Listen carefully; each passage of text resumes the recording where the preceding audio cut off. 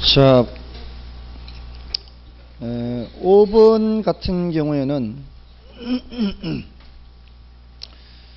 어, 그 이제 수요 결정 요인을 묻는 건데 그 어떤 것이 수요 결정 요인이냐 에, 또는 공급 결정 요인이냐 이거 구별하는 거죠.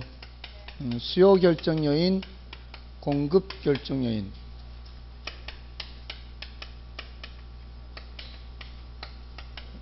이게 가장 기초적인 부분인데 에, 제가 가장 기초적인 부분을 출제 오류를 했죠. 에, 38페이지에 11번에 답이 없죠. 바보 아니에요. 참 누가 만들었대 이거를.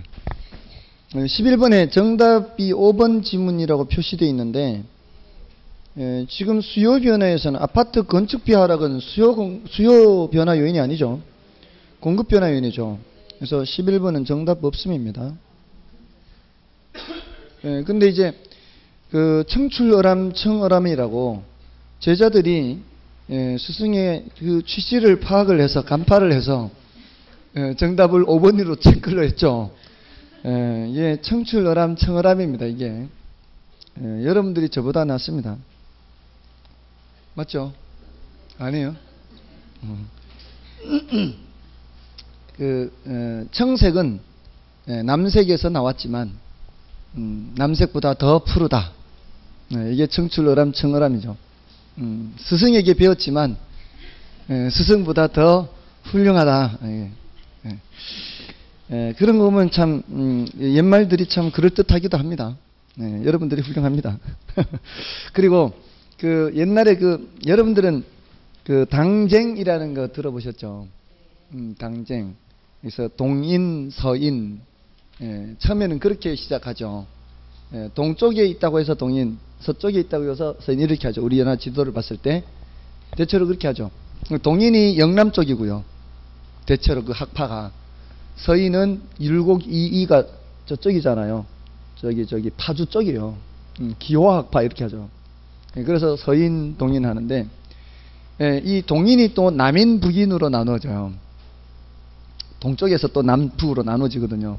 그 남인이 지금의 영남 세력이에요. 남인이.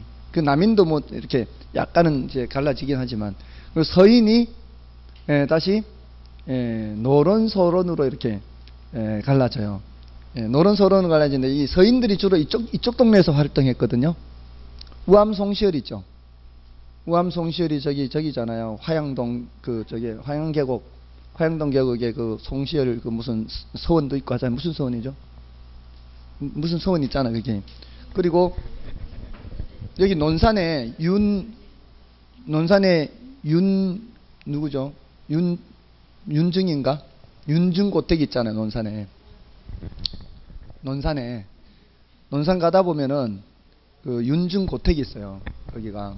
근데 거기가 예, 소론의 저거예요. 근데 이제 노론소론 한 이유가 그 어, 윤중이 우암 송시열의 제자예요.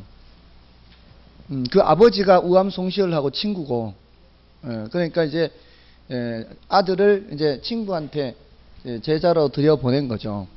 예, 근데 아버지는 굉장히 그 어, 현실적인 것하고 이렇게 어느 정도는 타협하면서 에, 이렇게 에, 에, 접근을 했기 때문에 이 남인들하고 이렇게 관계에서 어느 정도는 좀 이렇게 유, 좀 유한 이렇게 좀 강직한 어떤 그런 측면이 아니라 조금 에, 이 부드러운 성격의 어떤 저거였어요. 이, 그 제자는. 근데 우암 송시열 쪽은 굉장히 꼴통이라고 해야 되나? 하여튼 원칙적인 원칙론자예요. 원칙론자. 그러니까 남인하고 굉장히 대립이 예, 격한 그런 이 입장이었거든요. 근데 그 제자인 윤중은 좀 이렇게 아버지의 성품을 받았는지 좀 이렇게 예, 좀 부드럽게 이렇게 접근하는 그런 측면이 저 학 저거 입장이었어요. 그래서 이게 갈라진 거죠 또 서인이 그러니까 스승을 따르는 파는 노론이 되는 거고 예, 그 제자를 따르는 파는 서론이 되는 거예요. 이게 또 노론 서론 이렇게 되는 거예요. 그래서 서인이 그렇게 나- 갈라지는 거예요. 예. 근데 남인은 예, 동, 예, 동인은 남인 북인 나, 나누어졌다가 북인들이 그 광해군 때 잠깐 좀 예, 예, 세력을 잡았다가 이 정권 좀 잡았다가 광해군 때 예, 또 그때 뭐 북인도 청북 탁북 해가지고 이렇게 또 어, 갈라져요. 뭐 맑은 북인, 뭐 탁한 북인 이렇게 해가지고. 예, 근데 그 북인은 이제 예, 조금 이제 세력이 몰락을 하고 그 남인만 계속 남아 있다가 거의 끝까지 이 조선 시대 후반기까지 거의 서인이 저 저 노론 예, 노론 쪽이 계속 예, 거의 예, 정권을 잡았어요. 서인 쪽이. 예, 그래서 정권은 예, 저쪽 영남 쪽으로는 별로 예, 정권을 잡지 못했어요. 근데 대한민국에 들어와 가지고는 저기 영남 쪽이 계속 정권을 잡는 거죠. 예, 하여간 참 예, 세상의 예, 아이러니입니다. 예, 예, 왔다 갔다 음지가 양지되고 양지가 음지되고 예, 하여간 예, 청출어란 청어람 얘기하다가 예, 여기까지 왔습니다. 자, 어쨌든 그 어, 음, 5번에 2번 지문에서 어, 5번에 2번 지문 다시 가시면은 에, 부동산 수요 결정 요인에는 부동산 가격, 소득, 관련재 가격, 생산 요소 가격이 아니죠. 음, 생산 요소 가격은 에, 공급 결정 요인입니다. 이런 거고요. 나머지는 뭐 여러분들이 보셔도 되겠습니다. 넘어가십시오. 자, 6번을 보시면은 자, 여기서는 이제 에, 용어가 6번, 7번이 이제 에, 매치가 되는 문제입니다. 발생 요인 하는 거 있고요. 부동산 수요 발생 요인. 부동산 수요 제약 요인 하는 게 있죠. 자, 여기서는 발생 요인은 부동산 수요하고자 하는 양을 증가시키는 요인을 말하는 거고요. 그 밑에 제약 요인은 부동산 수요를 감소시키는 요인이다. 이렇게 보시면 돼요. 예, 그래서 그 어, 6번의 경우에는 대체재 가격 상승 자 이게 에, 수요 증가냐 또는 수요량 증가냐 음, 공급 증가냐 또는 공급량 증가냐 에, 여기 이제 에, 감소는 또 수요 감소냐 에, 수요량 감소냐 이렇게 되잖아요. 보통 발생 요인이라고 할 때는 이 둘 모두를 발생 요인이라 그래요. 그러니까 그 재화의 가격이 변하든 그 재화의 가격이 변하지 않든 수요하고자 하는 양을 증가시키면은 발생 요인이라 그래요. 그러면은 수요 감소든 수요량 감소든 그 재화의 수요하고자 하는 양을 줄이는 요인은 전부 다 제약 요인 이렇게 얘기를 해요. 예, 그럼 마찬가지로 공급 감소든 공급량 감소든 그 재화에 공급하고자 하는 양을 줄이는 것을 공급 제약 요인 이렇게. 그러니까 표현이 다르잖아요. 제약 요인 하면 수요 감소, 수요량 감소를 다 포함시키는 게 제약 이렇게 된다고요. 그렇습니까? 에, 그래서 일단 에, 지금 여기는 발생 요인이니까 수요 발생 요인이니까 수요하고자 하는 양을 증가시키는 것을 다 찾으란 얘기죠. 근데 대체재 가격 상승이니까 대체재의 경우에는 그 가격이 나오면은 방향이 같은 방향이죠. 예, 당의 재화 수요는 수요는 증가요. 그래서 맞고요. 그다음에 인구 증가, 수요 증가죠. 이자율 하락. 자, 이 이자율은 우리 부동산에서는 조심해야 되죠. 이자율이 하락하면은 수요도 증가하고 공급도 증가하죠. 음, 근데 지금 여기서는 이건 생각하지 않고 그냥 이렇게 대답하면 되니까 예, 맞는 말이고요. 그다음에 이혼 및 독신자 가구 수가 증가요. 수요 증가죠. 그다음에 생산 요소 가격 하락은 이건 공급 증가죠. 그러니까 생산 요소 가격 하락은 집어넣으면 안 되죠. 예, 생산 요소 가격 하락은 이거는 공급 증가입니다. 예, 그다음에 에, 보완제 가격 상승이네요. 음, 보완제 가격 하면 방향이 반대죠. 보완제 가격 상승하면은 당의 재화 수요는 에, 이거는 감소 이렇게. 다음에 대체 투자 자산의 수익률이 악화됩니다. 저쪽이 대체 투자 자산 수익률이 악하면은 그쪽으로 자금이 가지 않죠. 그럼 이쪽으로 온다는 얘기예요. 그럼 이쪽 수요 증가요. 예, 이쪽 수요 증가. 예, 그러면은 요놈 요놈, 요놈. 그리고 아까 한개안 적었던 인구 증가 있죠? 예, 다섯 개인가요? 또 한 개 안 적었나? 다섯 개 맞죠? 예, 예. 에, 다음에 7번은 이제 반대로 생각하면 되죠. 근데 반대로 생각하면 되는데 그 어, 4번 지문 보세요. 당해 부동산의 고가 이렇게 있죠. 당해 부동산의 어, 고가 가격이 높다는 얘기죠. 에, 부동산 고가 하면 가격이 높다 그러면은 수요가 수요하고자 하는 양을 줄이죠. 음, 그래서 제약 요인에 포함됩니다. 그다음에 대체 투자 대상의 호경기예요. 대체 투자 대상 하면은 뭐 주식이나 다른 걸 생각해도 돼요. 그, 그러면 그쪽이 경기가 좋으면 자금이 그쪽으로 가면은 이쪽은 제약되겠죠. 그다음에 에, 부동산에 대한 조세 감면은 에, 조세 감면은 수요 증가잖아요. 이건 아니에요. 그다음에 3번의 유사 부동산의 과잉 공급이 뭐예요? 이 유사 부동산이 나올 때는 항상 대상 부동산을 함께 머릿속에 떠올려야 돼요. 유사, 유사 부동산이 있다는 얘기는 대상 부동산이 있다는 얘기거든요. 유사 부동산이 많이 공급된다는 얘기는 대상 부동산에 대한 수요는 감소하는 거. 그렇게 해서 수요 감소요. 아셨죠? 예, 그 옆에다가 이제 대상 부동산의 수요는 감소한다. 이렇게 돼야 돼요. 예, 다음에 공사법상 제한도 예, 이게 예, 제약 요인이 되겠죠. 다음에 8번은 수요와 소요 개념 구별이죠. 자, 수요와 소요 개념 구별해요. 수요는 경제적 개념이죠. 예, 일정 기간 동안 구매하고자 하는 욕구 해서 경제적 개념이고 소요는 필요량이거든요. 이게 필요량. 이거는 정책적 개념이에요. 그리고 주로 대상이 이거는 예, 저소득층. 그죠? 이거는 중고소득층. 중고소득층 대상이. 예, 그리고 이거는 시장 경제 원리에 맡겨야 되겠죠. 시장 원리에 맡겨야 되는데 이거는 개입이죠. 개입. 이 시장에 개입하는 원리. 자 이런 식으로 예, 비교적 예, 대칭적으로 생각할 수 있습니다. 예, 그래서 예, 옳은 것을 찾는데 음, 대체로 이게 다 바뀌어 설명이 되어 있는데 예, 3번 지문만 옳은 건가요? 저소득층의 주거 수준을 예, 향상시키기 위해서는 수요 개념보다는 소요 개념으로 접근해야 되겠죠.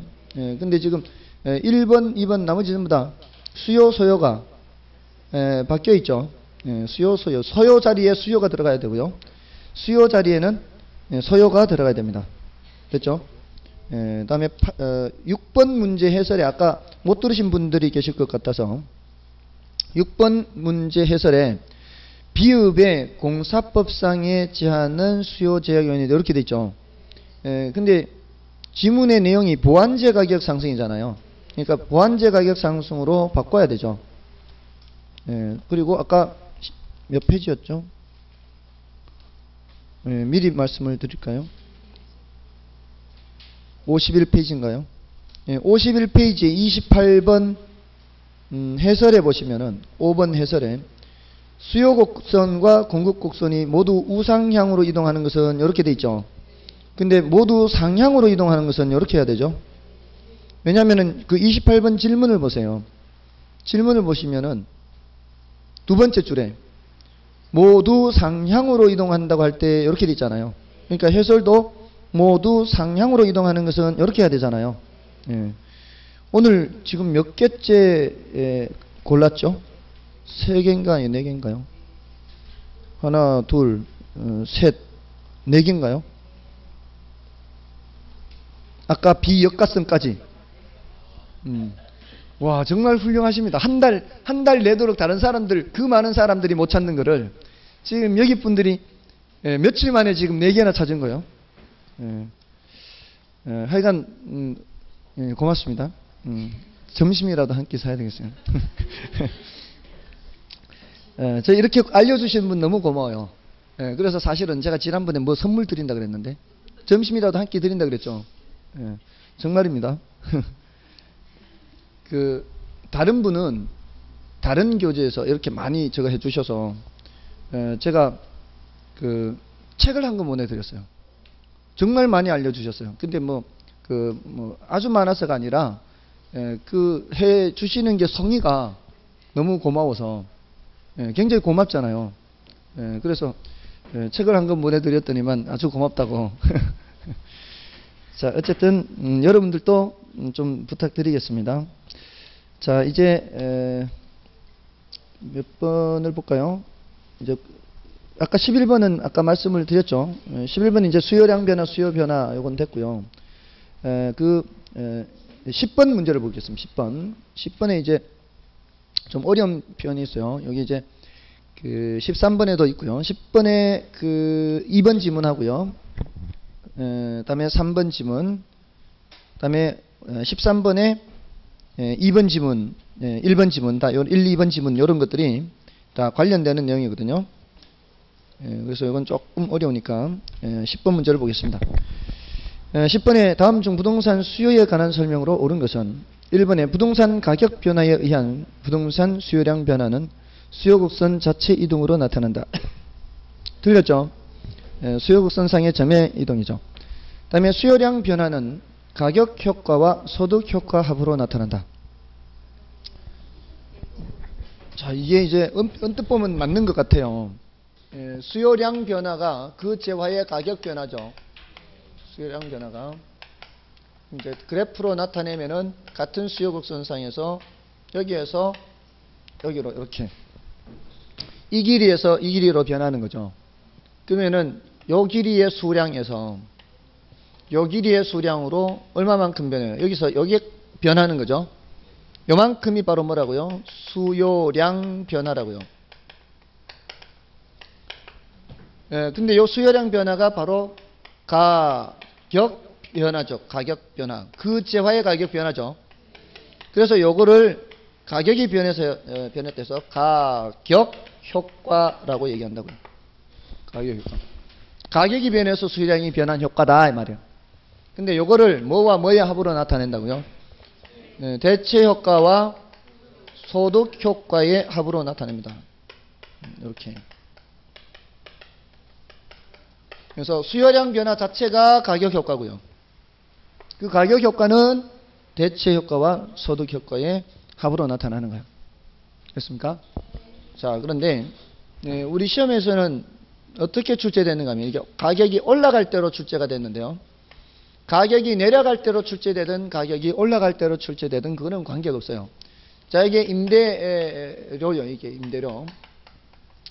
임대료가 올라가면은 임대 수요, 임차 수요가 줄어들겠죠, 여기서. 이렇게 줄어드는 게 바로 가격 효과거든요. 근데 그 가격 효과에는 소득 효과, 이걸 먼저 말씀드리면, 임대료가 올라가 버리면 지금까지 소비하던 만큼을 소비하게 되면은 이게 감당이 안 되죠. 소득은 예, 정해져 있는데 감당이 안 돼요. 그러니까 어, 실질 소득이 감소하는 효과가 나타나요. 똑같은 양을 소비하게 되면 이 말이야. 옛날과 똑같은 양을 소비하게 되면은 가격이 올라갈 때 그러면은 다른 거를 그만큼 못 사지 못하게 되는 상황이 되죠. 월급은 똑같은 상황에서 다른 거를 구매할 수 있는 돈이 줄어들어 버리지 않아요. 그게 바로 뭐라고요? 실질 소득이 감소한다고. 그럼 실질 소득이 줄어들면은 수요하는 양을 줄여야 될 거 아니에요. 그런 효과가 바로 뭐라고요? 소득 효과예요. 자, 그런데 임대료가 감소했을 때 다른 재화 가격은 다른 재화 가격은 변함이 있어요, 없어요? 얘는 고정돼 있거든요. 변함이 없어요. 근데 다른 재화 가격이 상대적으로는 어떻게 돼요? 얘는 변함이 없지만 얘가 올라가 버리면 얘가 상대적으로 하락하는 거예요. 하락. 상대적으로. 지난번에 제가 뭐 어, 송이버섯, 표고버섯 했잖아요. 예를 들어서 표고버섯 가격이 막 한 10만 원으로 올라가 버리면 그럼 송이버섯 20만 원이라 해도요. 만약에 지금 만 원 하던 표고가 10만 원으로 올라간다 그러면은 표고 10만 원 주고 먹느니 차라리 그냥 20만 원 서고 20만 원 주고 송이버섯 먹겠다 이런 식이 돼 버리는 거예요. 송이버섯 가격은 변함이 없는데도 불구하고 가격이 상대적으로는 많이 떨어진 거거든요. 그러니까 비싼 거를 안, 소 비 안 하고 가격 올라가는 걸 소비 안 하고 상대적으로 하락한 놈을 더 소비하기 때문에 얘가 소비가 줄어드는 것도 있다 이 말이에요. 뭔 뜻인지 아시겠어요? 그러니까 상대적으로 상대방은 분명히 상대방은 가격이 상대적으로 변해요. 얘가 올라가면은 상대방은 가격이 상대적으로 하락하고요. 그러면 걔를 더 소비하는 과정에서 얘를 소비를 줄이는 거예요. 이런 효과가 대치 효과예요, 대치 효과. 상대적으로 변하는 때의 효과가 대치 효과예요. 그러니까 항상 대체 효과, 소득 효과가 함께 나타나게 돼 있어요. 하락할 때는 반대죠. 하락할 때는 실질 소득이 증가합니다. 예, 똑같은 양을 구매를 해도 옛날보다 돈이 굳어요. 남게 돼요, 돈이. 이제 똑같은 양을 구매해도 덜 줘도 되니까 돈이 남잖아요. 그 남는 돈으로 더 구매하는 거는 소득 효과고 실질 소득이 증가해서. 근데 얘가 하락한다는 얘기는 다른 재화 가격은 상대적으로 올라간다는 얘기거든요. 상대적으로 올라가니까 얘 올라간 놈은 소비를 줄여요. 대신 이쪽으로 오는 거지. 이런 효과는 대체 효과 이렇게. 아시겠어요? 항상 대체 효과는 요 말이 빠지면은 설명을 못 해요. 상대적이라는 단어를 빼면 설명을 못 해요. 근데 예, 소득 효과는 실질 소득이라는 표현이 나요. 실질 소득. 예, 그래서 일단 2번은 수요량 변화는 가격 효과 소득 효과 합으로 나타나는 게 아니라 대체 효과 소득 효과 합으로 나타나는 거고요. 그 다음에 3번도 틀린 이유가 상대 가격 변화에 따르는 수요량 변화는 예, 대체 효과라고 대체 효과. 에, 다음에 에, 부동산 가격 이 외의 요인 변화에 따르는 수요량 변화는 수요 곡선 자체 이동으로 나타난다. 맞죠? 예, 4번 맞는 말입니다. 다음에 어떤 재의 가격 상승 또는 하락에 대한 예상도 수요 결정 요인이 되며 이는 그 재화의 수요 곡선상의 변화를 가져오는 게 아니라 그 수요 곡선상이 아니라 자체 이동이죠. 그래서 아, 아까 수요 어, 변화, 수요 증가, 수요 어, 공급 증가, 이 수요 변화냐, 수요량 변화냐 할 때 그 재화의 가격 상승은 수요량 변화지만 그 재화의 가격 상승에 대한 예상은 수요 변화 요인이라는 겁니다. 그래서 구별을 하시고요.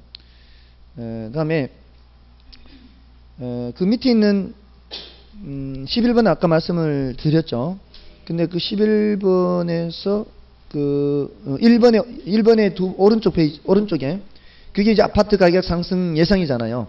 그 아파트 가격 상승 예상은 수요 변화 요인이라고요. 에, 다음에 에, 나머지는 이제 듣고요. 13번으로 이제 또 가볼게요. 13번. 에, 13번 지금 계속 연결되고 있죠. 13번에 1번에 어떤 상품의 가격이 상승하게 되면은 대체 효과에 의해 하면은 다른 상승했으니까 다른 자원은 상대적으로 어떻게 다른 자원은 상대적으로 가 격이 하락하잖아요. 그럼 다른 자와 수요량은 상대적으로 증가하는 거예요. 하락했으니까. 됐죠? 다음에 어떤 상품의 가격이 하락하게 되면은 소득 효과에 의해 했죠. 소득 효과는 뭐예요? 실질 소득이 어떻게 돼요? 증가죠, 증가. 네, 증가에 의해 에, 그 재화의 수요량이 감소하는 게 일반적인가요? 증가하는 게 일반적이죠. 그래서 2번이 틀린 겁니다. 됐나요? 음, 그, 딱 그것만 생각하는 거요. 실질 소득이 변화했을 때 올라가느냐, 이것만 생각하는 거요. 음, 다른 거 생각하지 말고. 요거는 수요량 변화에서 얘기하는 거예요. 수요 변화에서 얘기하는 거예요. 수요량 변화에서 얘기하는 겁니다. 요거에서 얘는 요거, 요거. 요 중에 일부는 소득 효과, 일부는 대체 효과, 이렇게 표현한다, 이 말입니다. 아시겠죠? 자, 됐고요. 에, 다음에 에, 나머지는 지금 그 5번 지문에 예, 본원적 수요, 파생적 수요 이런 게 나오죠. 자, 요거는 뒤에서도 나오는데 예, 어디서도 있죠. 예. 보는 수요. 19번에도 나오죠. 음, 19번에. 자, 그러니까 13번에 5번 지문은 예, 19번 문제하고 함께 생각하시면 돼요. 그러니까 19번을 풀면서 설명이 되니까 19번으로 예, 일단 먼저 볼게요. 19번. 예, 부동산 시장 및 부동산의 수요와 공급에 대한 설명이다. 틀린 것은 1번. 주택은 번원 수요 성격이 강하고 예, 토지는 파생 수요 성격이 강하다. 이거는요. 번원 수요는 보통 우리가 수요한다 그러죠. 수요. 수요한다라고 하면은 그 원래 의미의 수요를 말하는 거예요. 원래 의미의 수요. 그는 소비 수요를 의미하는 겁니다. 보통 우리가 수요한다 그러면은 소비하기 위해서 수요하는 거예요. 여러분들 그 뭐 밀가루를 산다거나 뭐, 에, 뭐 이런 책을 산다거나 이런 것들이 대부분 우리가 소비하기 위해서 사는 거죠. 그게 이제 본래 의미의 수요란 얘기예요. 근데 파생 수요는 이거는 생산 요소 수요 이렇게 생산 요소 수요. 자, 예를 들어 보세요. 제가 지금 밀가루 판매업자예요. 밀가루 판매업자. 밀가루 판매업자 입장에서는 자 여러분들 뭐 어, 한결이도 사러 오고 뭐 저 리나도 사러 오고 다 사러 와요. 사러 오면은 다 저한테는 수요자죠. 다 수요자예요. 근데 저 사람이 사가지고 가서 집에 가서 전 부쳐 먹든 저 사람이 빵집을 하는데 가져가서 빵을 만들든 나는 그거는 관계가 없어요. 내 입장에서는 다 수요자예요, 수요자. 뭔 뜻인지 아시겠죠? 근데 보니까 한결이는 빵, 제빵업자예요. 그럼 저 한결이가 빵, 그 밀가루 사가지고 가는 이유가 뭐겠어요? 빵 만들려고 하는 거죠. 그러면요, 이게 지난달에는 한 번 났는데 이번 달에 두 번 났어요. 왜 그랬을까요? 많이 팔렸으니까 온 거지. 그러니까 어떤 달에는 안 왔어요. 빵은 안 팔리니까 안 온 거죠. 그러니까 이게 빵집에서 사는 밀가루는 이거는 빵 수요가 많으냐 적으냐에 따라 달라지는 거예요. 그러니까 빵 수요에 파생된다 이런 뜻이에요. 뭔 뜻인지 아시겠죠?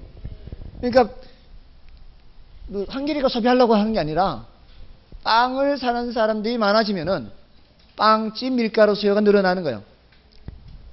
됐나요? 음, 그런 게 무슨 수요라고요? 파생 수요라고요. 예. 근데 그냥 가정집에서 그냥 전 부쳐 먹으려고 사가는 거는 본원 수요란 말이에요. 저 입장에서는 똑같은 수요예요, 사실은. 근데 구분하자니 그렇게 구분하자는 거예요. 음, 제 입장에서는 다 똑같은 수요자지만. 됐나요? 그게 이제 이렇게 갈라지는데 자 주택을 수요한다는 것은 대부분 소비하기 위한 거죠. 거기에서 무슨 뭐 주택 임대 사업은 아니죠. 주택 임대 사업의 경우에는 생산 요소입니다. 그 사업하기 위한 거니까. 근데 대부분은 자기가 사용하기 위한 거잖아요. 그러니까 주택은 보는 수요가 되는 거예요. 그냥 자기가 쓰기 위한 거니까. 근데 토지를 수요할 때는 대부분 그거 가지고 뭘 하려고 하는 거죠. 예, 건물 지어서 분양을 하다든가 뭐 농사를 짓는다든가 뭐 하는 거죠 이게. 그러니까 토지에 대한 수요는 대부분은 예, 파생 수요. 근데 뭐 내가 정원을 더 꾸밀려고 한다거나 뭐 차고가 없어서 차고 어, 목적으로 이렇게 한다거나 이건 내가 쓰는 거죠. 어떤 상품을 생산하기 위한 게 아니죠. 그러니까 그럴 때는 토지도 보는 수요가 되는 거예요. 근데 대부분은 이제 토지는 파생 수요라는 얘기예요. 됐죠? 자, 그 얘기입니다. 에, 그래서 제빵 업체의 밀가루 수요는 보는 수요이며 가정집에서 소비하는 밀가루 파생 수요 이게 틀렸죠. 자, 됐고요. 그다음에 그 어, 2번, 3번 지문은 귀속 임대로 지난번에 한번 말씀드린 적 있죠. 에, 이게 자기가 자기 집에 사는 경우에는 임대료를 내지 않으니까 임대료가 발생하지 않는다라고 생각하기가 쉽지만은 사실상은 임대료를 계산을 할 수가 있다고요. 예, 요거를 예, 예컨대 뭐 예, 세를 낳았을 때 어, 받을 수 있는 만큼 그만큼은 내가 예, 임대료를 지불하는 셈이 되고 거꾸로 얘기하면 그만큼은 임대료 수입이 발생한다라고 볼 수 있다는 말이에요. 예, 다음에 예, 토지의 물리적 공급은 단기와 장기 모두 비탄력적이죠. 근데 예, 경제적 공급은 장기적으로는 예, 어느 정도의 탄력성을 가지는 겁니다. 됐죠? 다음에 예, 부동산의 수요는 신규 수요와 교체 수요로 구분된다. 이건 뭐 중요도가 좀 낮고요. 신규 수요는 이제 예, 새로 사는 사람이고 교체 수요는 기존에 있던 사람이 바꾸는 거고요. 됐죠? 예, 다시 이제 앞으로 가셔서 다시 앞으로 가셔서 어, 13번 나머지는 이제 됐죠?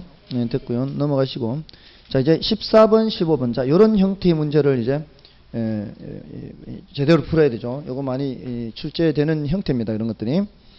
자, 먼저 14번은 에, 수요 곡선 자체를 우상향으로 이동시키는 요인으로 옳은 것은 이렇게 물었죠. 이거는 의미가 뭐예요? 수요 수요 증가를 차, 에, 찾으라 이 소리죠. 근데 1번은 생산 요소 가격 하락이죠. 이거는 공급 증가고 예, 당해 부동산이 열등제라 그랬어요. 열등제. 열등제면은 반대 방향 이렇게 하죠. 소득이 증가하면은 수요가 감소하죠. 얘는 수요 감소예요. 그래서 안 돼. 1번은 공급 증가해서 안 되고요. 얘는 수요 감소해서 안 되고요. 그다음에 3번은 당해 부동산에 대한 투자자의 요구 수익률이 증가합니다. 당해 부동산에 대한 투자자의 요구 수익률이 증가하게 되면 어떻게 해요?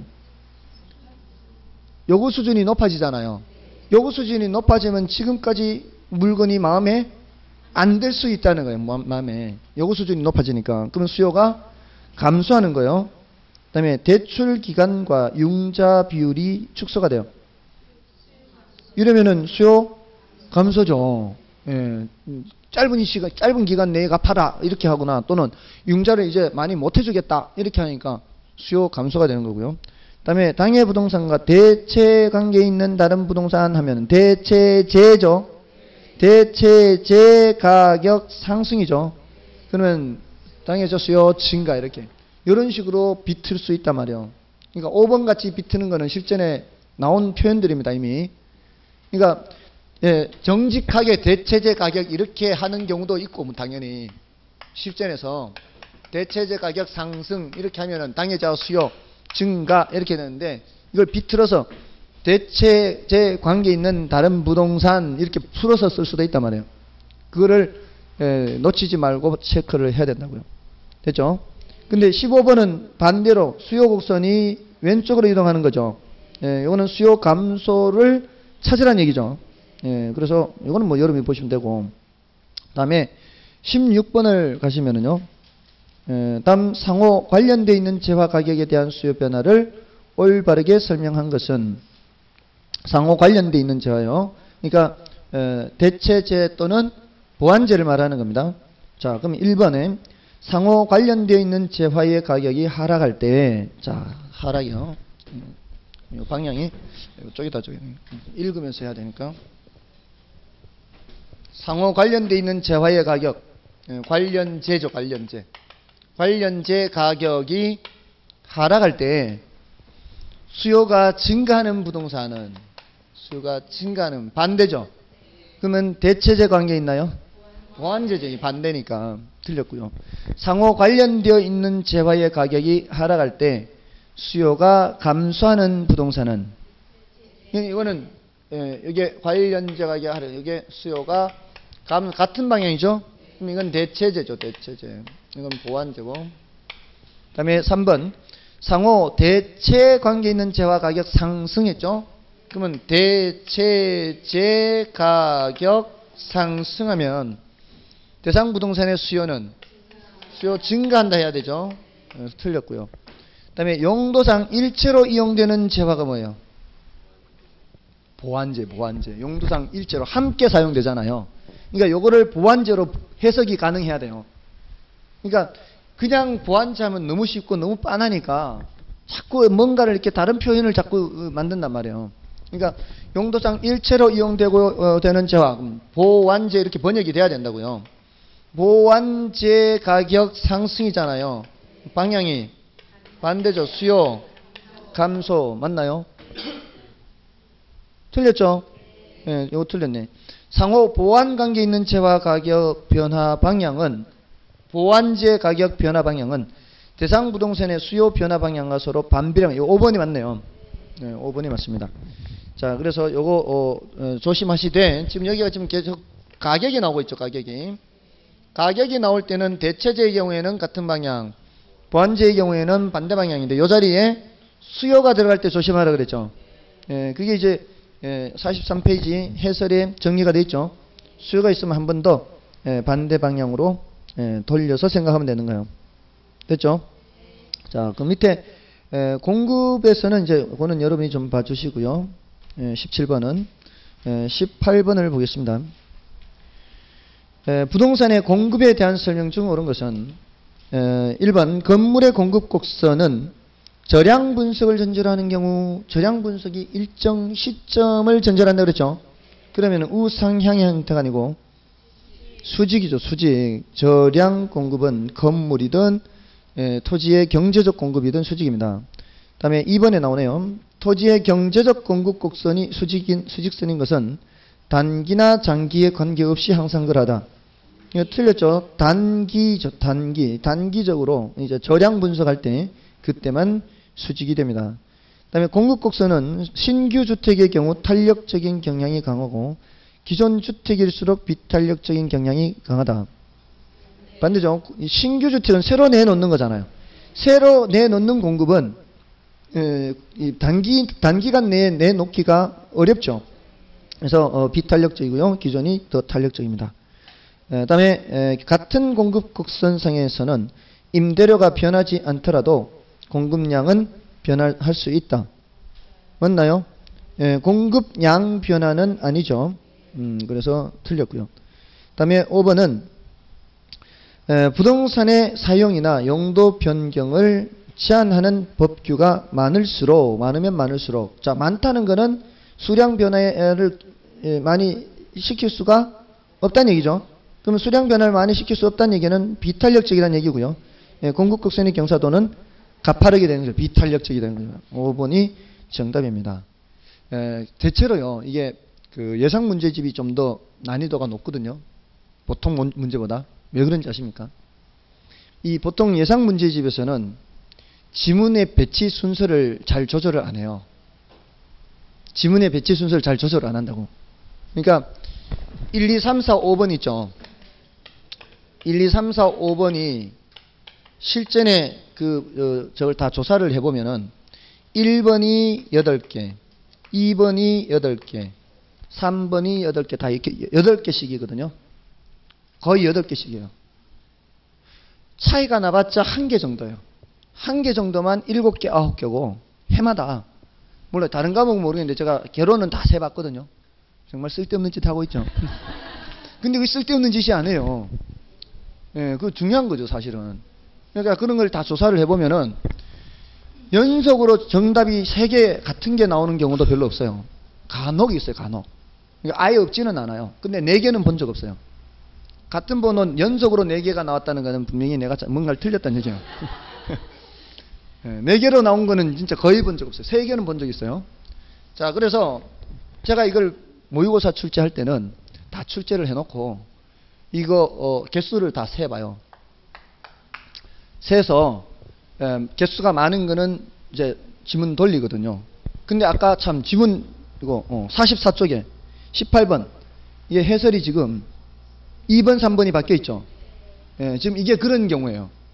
예, 이게 이제 예, 이, 그 지문 순서를 바꾼다고 바꿨는데 예, 해설은 못 바꾼 거예요 지금.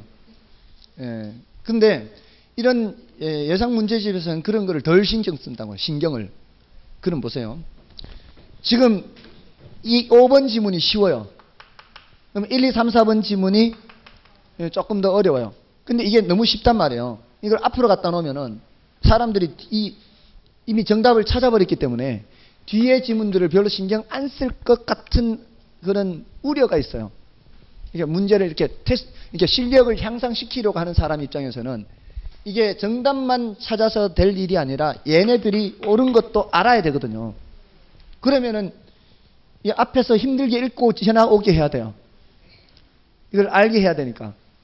그러고서 이제 여기다가 정답 지문을 갖다 놓는단 말이에요. 그러니까 이 예상 문제집에서는 정답이 뒤로 가 있는 게 많아.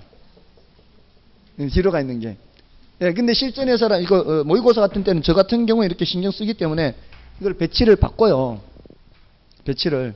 예, 그렇게 하기 때문에 예, 좀 쉬운 지문이 뒤에 가 있는 경우가 많아요.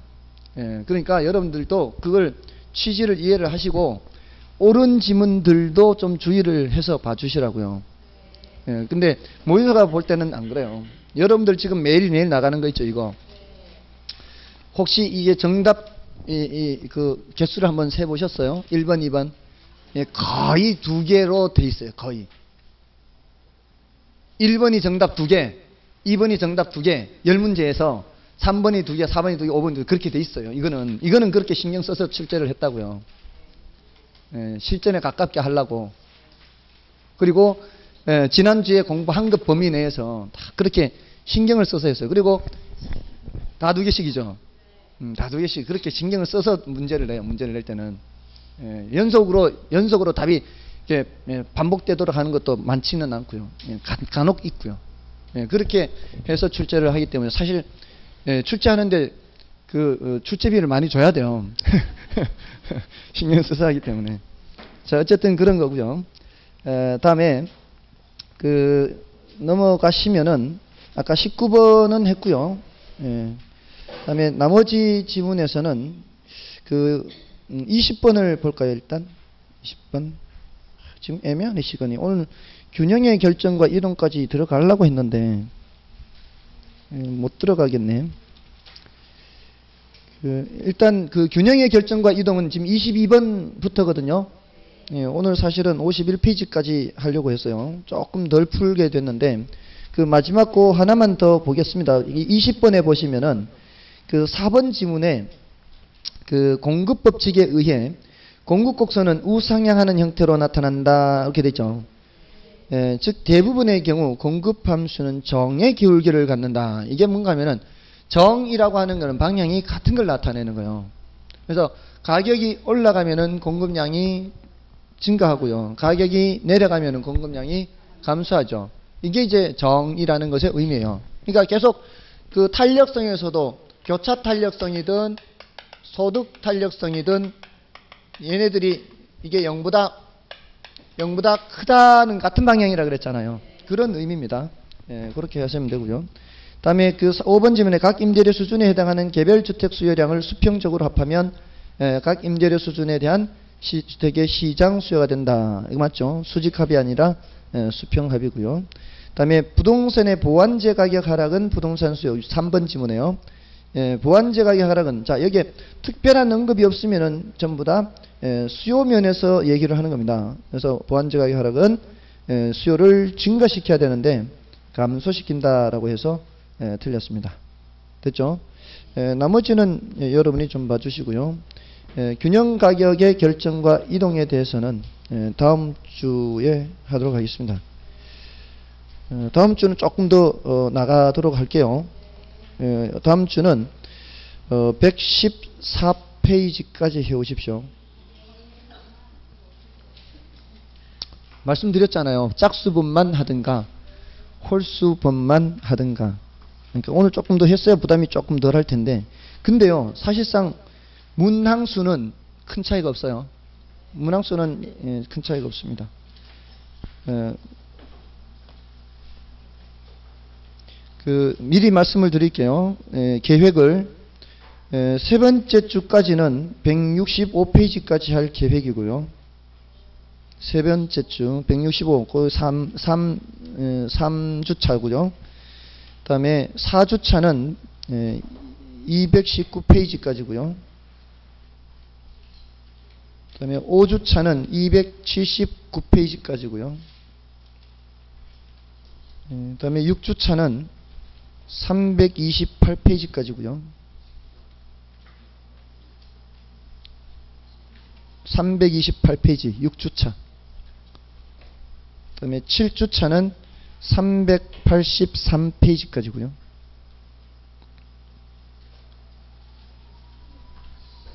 (383페이지) 나머지가 음 이제 8주차 5주차요 음, 279 5주차 279 됐습니까? 예.